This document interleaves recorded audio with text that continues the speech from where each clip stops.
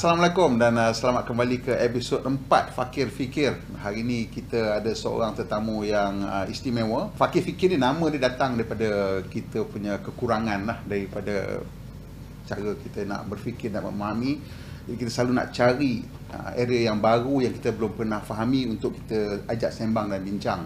Dan hari ini kita ada satu tetamu yang uh, saya rasa sangat istimewa. Uh, dia run satu company nama Afilia dan Afilia ni is a company yang tengah membangunkan teknologi uh, wireless charging tapi untuk space application and he is Malaysian and nama dia Cik Razlan. So cerita sikit lah macam mana you boleh come about with this idea nak buat uh, wireless charging untuk space application yang kita tahu wireless charging ni untuk phone je. Betul lah. Hmm. But before that, Hmm. Thank you so much for inviting me. Ah, a, it ah. is a huge pleasure for me and my team as well lah. Uh, and macam mana dapat idea tu, background saya pun memang ada dalam electrical electronic engineering dan saya pun sebenarnya buat uh, research dalam bidang wireless charging technology tu sebenarnya. Okay, okay. Ha, so uh, tapi dalam masa yang sama saya pun dah dapat pendedahan pasal startup-startup, dunia startup. So saya pun teringin teknologi wireless charging ni saya buat uh, jadi jadi a startup. So that's where uh, kita orang explore, saya explore nak buat wireless charging untuk phone. Hmm. Konon macam handphone ni duduk dalam bilik tak perlu nak charge semua. As long as you are in the room, you boleh dapat signal wireless charging. Right, macam right, right. dapat wifi signal. That would be a good idea. That would Yeah, that would be a good idea. Yeah, yeah, yeah, yeah. Tapi lepas kita orang dah explore explore explore biasalah the reality hit. So benda tu memang tak boleh buat. Uh, oh, tak boleh buat. sebenarnya tak boleh buat. Kenapa tak boleh buat? Sebab ada satu teori ni kita panggil inverse square law. Bear, bear with me kalau macam sama macam wifi wifi signal ni dapat Okay. wifi signal kan. Wifi signal dia punya signal tu dia macam 360 semua arah. Isunya adalah lagi jauh signal tu pergi power dia lagi drop. Dia bukan drop uh, drop straight. Dia memang huh, macam tu. Phone pakai berapa watt bila dia charging berapa watt dia boleh Right now Ha. sama macam saya punya handphone juga. Ha. Biasa je. Ha. Not even like fast charging yang 5 minit macam tu. Ha. 2 jam ambil 18 watt. Oh. So macam Memang tak boleh lah Memang kerja. tak boleh. Ha. Okay. So kalau dalam bilik tak boleh dan macam mana you nak buat? Untuk space. Ha. Ha. Di sinilah Ha. Kenapa untuk space boleh menjadi ada dua faktor. Satu, wireless charging ni kita tak boleh buat dia pergi semua arah. Dia kena buat satu point ke satu point. Dia kena fokus. Tertumpu lah. Tertumpu. Nak buat tertumpu pula Hmm. dekat bumi ni sebenarnya susah nak buat. Satu sebab ada faktor keselamatan. Sebab energi ni tinggi sangat, borong lalu semua Innalillah Memang microwave microwave oven lah literally So kalau dekat angkasa Mana ada burung apa semua You nak apa Kenapa pula microwave pula? Yang kita charge phone ni pakai microwave. Ah, tak juga. Itu Ah, apa? Kenapa you cakap pasal microwave?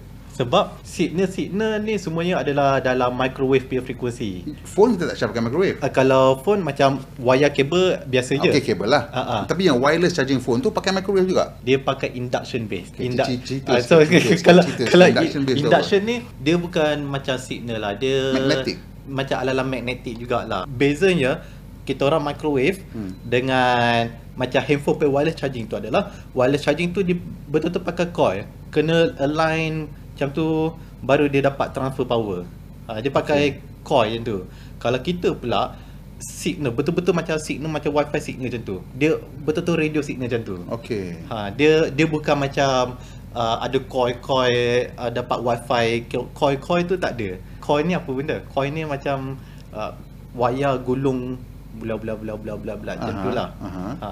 So that's I different still don't understand macam mana you're transferring energy from one coil to another. So untuk teknologi kita uh, kita pakai radio signal ataupun microwave. Caranya adalah sebiji macam antena juga. Mhm. Bila antena tu keluar signal, except that kita ada banyak beribu-ribu antena. Kita hantar signal fokus, kita manipulatekan signal tu uh, ke uh, receiver juga, another antena juga untuk terima power tu. Oh. Terima signal tu. Oh. Ha. ha. So, so dengan cara tu you boleh hantar lebih daripada like apa yang you pakai untuk phone tadi tu. Ha ah. How, Memang how much how much power you boleh hantar? We are talking about kilo level kilowatt. Memang level kilowatt. So right now kita punya range teknologi kita kita buat antara 1 kilowatt sampai all the way up to 10 kilowatt. Ha. Okey. So macam tu. Daripada jarak berapa jauh? Buat masa ni jarak 1 kilometer. Ha. Satu kilometer. Satu kilometer. Ha. Dari segi teori dia kalau satu kilometer kalau nak jarak lagi jauh, then kita punya antena tu buat lagi besar. The receiver antenna. Uh, both receiver, Both receiver dengan transmitter. transmit tu. Ha ha. Ha ha. Okay. Ha ha. So sekarang ni you kata nak buat charging untuk satellite di angkasa lepas. Mm-mm. Eh? Mm-mm. So satellite ni dia duduk dekat-dekat ke you nak pergi dekat dengan dia ke macam mana? How how is it going to work? Yap, yap. Ha. So, iaitu antara technical challenges yang satu dunia tengah selesaikan lah termasuk kita juga. Mhm. So, caranya adalah um, dua cara. Cara pertama, which kita tak buat lah. Cara pertama adalah kita punya station charging sendiri akan pergi dekat customer punya satellite dalam jarak bila dalam jarak 1 km kita akan charge. Okey, lepas tu kita pun uh, cabut lah kita caw. Okey. Masalahnya kalau buat macam tu, kita satellite sendiri kita perlukan banyak tenaga untuk bergerak-gerak pergi ke customer satellite sana, customer satellite sini. Terlalu banyak sangat tenaga kita belanjakan untuk nak bergerak. Cara keduanya adalah which apa yang kita buat sekarang ni kita bina banyak-banyak station charging dekat equator, dekat garisan khatulistiwa banyak-banyak aha. so that kita tak perlu gerak mana-mana asalkan customer lalu je dalam coverage kita dapat charge. Lalu je dapat. Lalu je dapat. So y- y- you, your charging station tu dekat bumi ke dekat angkasa lepas? Dekat angkasa lepas. Oh dekat angkasa lepas. Yes, betul. So your you, you punya target ni ialah satellite jenis apa yang you nak charge ni? Satellite jenis actually is jenis medium to large satellite. Mm-hmm. So maksudnya we are talking about satellite yang like at least 500 kg punya berat mm-hmm. where diorang perlukan tenaga yang besar tapi dalam masa yang sama diorang tak nak uh, satellite tu jadi besar sangat. So so okay. Apa yang kita value kita contribute adalah contoh satellite macam Starlink, mm-hmm. satellite yang provide ke internet kepada people on earth, diorang perlukan solar panel besar. Mhm. Uh, sebab elektrik dia tak cukup. Uh, so kalau satellite tu sendiri nak hantar internet lagi ramai orang, diorang perlukan tenaga lagi banyak. Ya. Yeah. Uh, so caranya nak counter itu adalah diorang okay solar panel diorang letak je solar panel tapi tak perlu tak perlu besar sangat pun. Hanya installkan satu receiver kita size tu fit saja, kecil je tapi kita pumping power yang, la- yang lagi tinggi pada diorang. Okay, but dia orang punya satellite dia on low, low earth orbit. They're Betul. moving very fast, what, 45 minutes kan? Exactly. Dia orbit. So Very fast. Ha, macam mana you kalau you kata you punya satellite is stationary Betul. on the equator, Betul. Entah macam mana tu dia Ha. how how how how many dia seconds ke apa because unless you tracking you tracking ke tak macam mana Ada tracking. Oh, tracking lah. Yeah. So that is where everyone is trying to solve right now, including us. So caranya from our side is dalam coverage tu dia ada masa setengah jam. Uh, so ada setengah jam dia satu kilometer, so dah uh, out of coverage dah. So dalam masa setengah jam tu dia intersect dengan kita pergi charging station tu. setengah jam Hmm. Memang memang But if they orbiting the planet at 45 minutes sekali orbit dan macam mana setengah jam tu that seems to be like you probably have like 5 minutes Yeah. kot dekat you Actually uh, satu orbit dekat low of orbit ni Ha. uh, satu orbit mengambil masa 90 minit. 90 minit okay Uh, 90 minit. So daripada 90 minit tu setengah jam tu ada dalam coverage kita. Kita wait the, the International Space Station 90 minit eh sama, betul. oh bukan 40 minit so I got it wrong okay Aha. ha, ha. So as long as dia dalam coverage setengah jam. Tapi uh, 90 minit dalam masa sehari dia orbit banyak kali. Ya, ya, ya, Dia ya. buat orbit banyak kali. So maksudnya dalam satu hari kita charge selama 30 minit tapi banyak kali. 30 minit uh, dia dah kacau, datang balik, another macam 30 mana you kata 30 minit ah saya tak nampak lagi you kata dia pusing uh, 90 minit For 360 degrees. Ha, ha. Right, 30 minit is 120 degree punya arc. That's a from that far to that far. You Yeah. kata you punya transmitter dependent on distance and law of inverse. Inverse square law Ha. hanya applicable kalau signal kita transmit tu semua arah. Kalau Wide. you need uh, Kita pay directed. directional, okay. Directional. Then doesn't does not it doesn't doesn't apply. Yeah, correct. Okay. Uh, dia ada satu term ni panggil power beaming lah. Okay. Uh, power beaming maksudnya kita bukan uh, macam semua arah, kita fokus satu je. So dia bukanlah exactly like inverse square law macam tu lah. Sebab kita dah fokus 100% tu ke sana juga. Right, right, right, right, right, right, right. So, kalau you nak tembak dekat dia and you kata you punya jarak, how far you going to be from the Right uh, now client satellite? Satu kilometer So that means you punya orbit dengan dia punya orbit dekat lah. Kalau ikut dekat uh-huh. What is the separation, minimum separation for satellites? Uh, There are a lot of number But Hmm. we are talking about a range of Satu uh, kilometers of range lah Lain satellite customer Lain dia jarak Hmm. Okay. uh, But uh, That is why uh, We are not the only startup yang Tengah solvekan um, The challenges of Kita panggil orbital mechanics lah Mhm. mm-hmm. Orbital macam mana Mhm.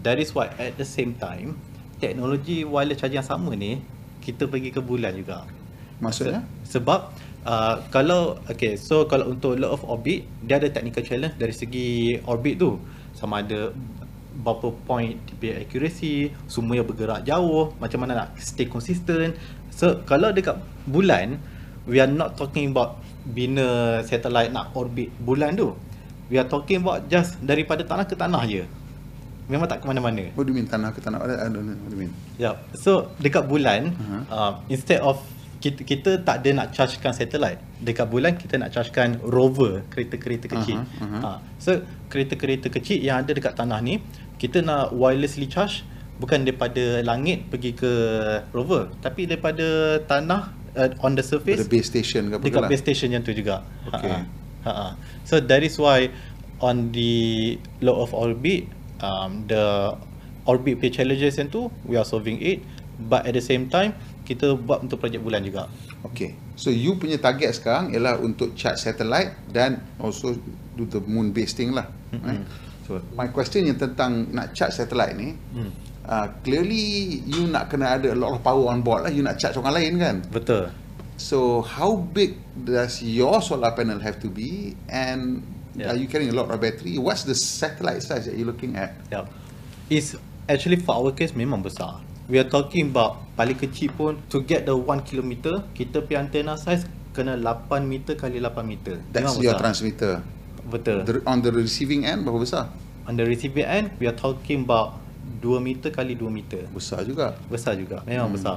So that is why untuk case kita to make it valuable for the customer punya case, memang kena deliver elektrik yang tinggi juga. Sebab kalau diorang install antena besar tapi hantar elektrik sikit je. So it doesn't make sense. Baik install solar panel je. Hmm. Ha, so uh, that is why for our case to make it viable, we have to transmit really really high energy to make it valuable to them. Satu lagi, if you are charging uh, LEO satellite, your orbit degrade a lot faster dah. Uh, actually yes. So how long you- can your satellite stay in orbit um, Yeah. to make it? How long do you need for it to stay in orbit to make it worthwhile? And how do you plan to make it stay in orbit? Yeah. So to make it worthwhile, kena follow customer punya requirement. So if customer can go all the way between 3 to 5 years, that is also our goal, 3 to 5 years. How to make it supaya tak jadi sampah, supaya dia boleh stay orbit tu, that's where the electric propulsion technology comes in. When you yeah. say electric propulsion, exactly what do you mean? Yeah. So for satellites, satellite ni macam mana dia orang bergerak ataupun dia terapung macam tu saja. Hmm. Macam mana dia nak bergerak ke kiri ke kanan ke atas ke bawah? Dia menggunakan uh, satu teknologi ni kita panggil propulsion. Propulsion ni apa? Mhm. Propulsion ni adalah dia satu teknologi untuk keluarkan like macam api macam tu. So Hmm. macam sama macam kalau roket yang bawah tu yang keluar api macam tu itu kita panggil propulsion lah. Hmm. Sama juga untuk satellite dia ada propulsion juga. Uh, except dia punya tu dia tak pakai api. Coal gas lah. Dia pakai elektrik.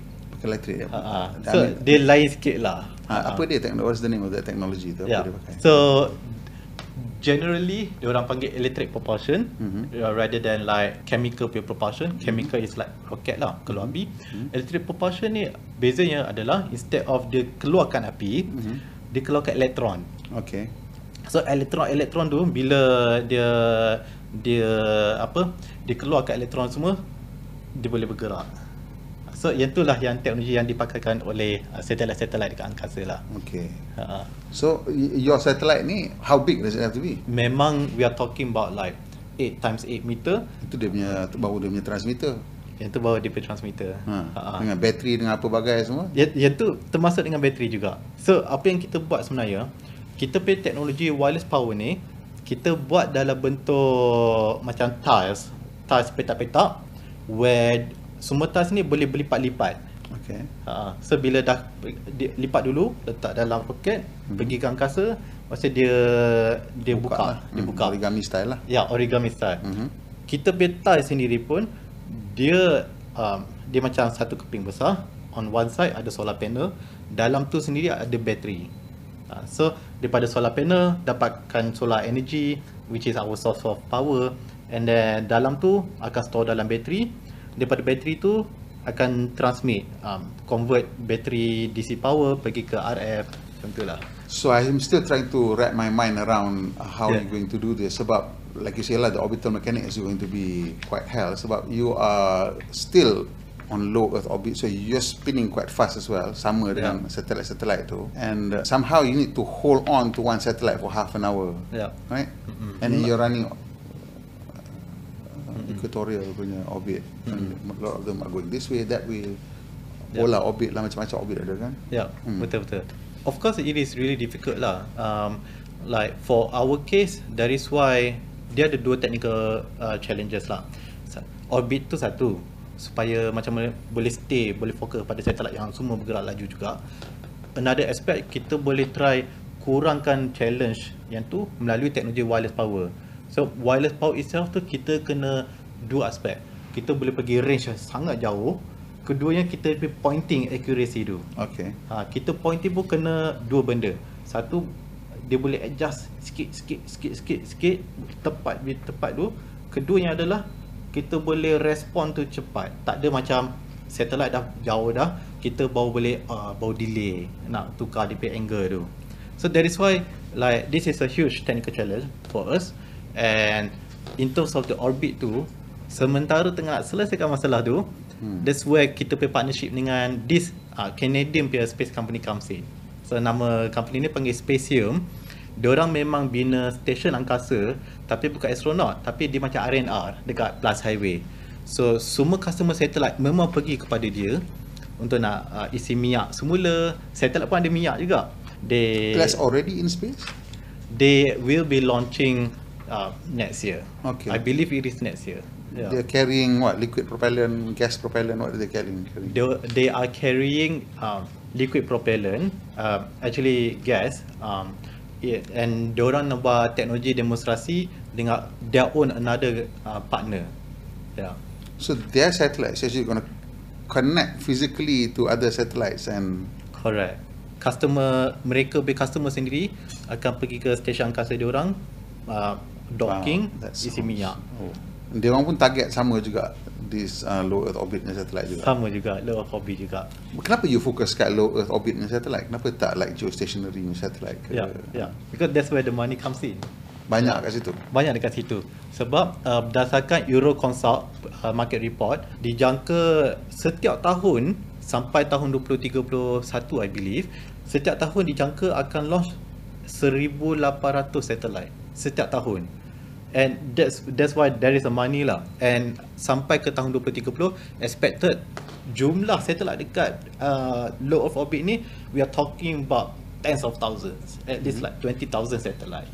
That's belum campur Elon punya Starlink ke dah campur? Itu dah campur dah. Dah campur dah? Dah I thought campur dia dah. sendiri nak hantar 30 ribu? Uh, dia sendiri dah 30,000 Ha. campur dengan kompetitor lain nak Ha. hantar juga berpuluh ribu juga. Ha, ha, ha, So ha. that is why uh, that is why there is a viable market opportunity at there lah sebab banyak satellite. Uh, kalau if we are talking about takat hantar 2 3 satellite saja mm, the money is not there lah. Cerita sikit bila you buat dengan dengan uh, apa nama the Spatium ni kan Mm-hmm. how, how is it going to work Dia- dia, punya cerita lain dia nak bawa benda lain you nak bawa wireless pula so how how you working dengan Spatium ni Yeah. So Spatium uh, what they do Diorang bina macam RNR, stesen RNR dekat uh, dekat angkasa. Sama macam RNR juga, ada isi minyak, ada kedai runcit, ada pam tayar semua. Diorang nak buat tiga benda. Satu, isi minyak, satellite.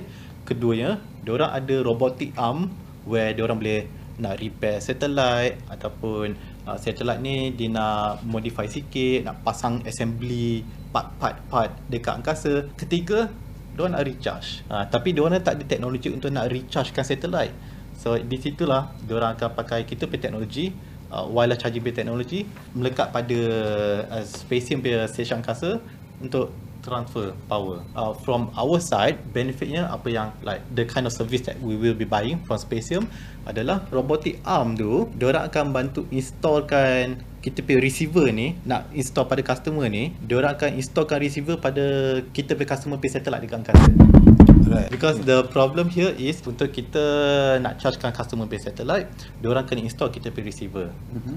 Tapi kalau diorang punya satellite dah dekat angkasa, macam mana nak install? Well, the question I nak tanya is low Earth orbit satellites have very short lifespan anyway, right? Hmm. So why not just wait until the new ones go up? Ha. The reason why to be replaced, ha, kawan. right? Exactly, exactly, exactly. ah, go on. that that is the statement Ha. we are talking about a few years ago, Okay. like two three years ago. Okay. But now, Uh-huh.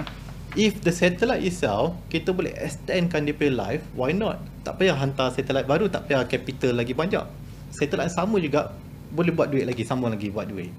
Ha. Hmm, hmm, hmm. Ha. SpaceX, I tak tahu lah what the actual cost of launch anymore per kilo kan because they on the drop it by so much, right? Mm-hmm. Is it still worthwhile to do this and not just send satellites and bring them back down and send them up again and bring them back down? It depends on the the satellite manufacturer what is their business model. Uh, some satellite manufacturer their business model is they just want to send send a satellite if it can provide value to our customer, say provide internet to people down on earth. If we don't need to send another asset, then we save money. Uh, certain kind of satellite satellite manufacturer where their business model is if we want a new kind of satellite that can do amazing capabilities and I want it tomorrow, then they have to keep sending new satellite, new satellite, new satellite. So it all depends on what is their own customer requirement. So yeah, that is the case lah. Right now you kata you ada competitors lah. Banyak ke company yang tengah memikirkan this is like a really big problem ke apa? Competitor dengan big problem. Ha. Actually, masalah tenaga untuk satellite ni is a 4.4 billion dollar problem. How, Macam- macam mana how is it 4.4 billion?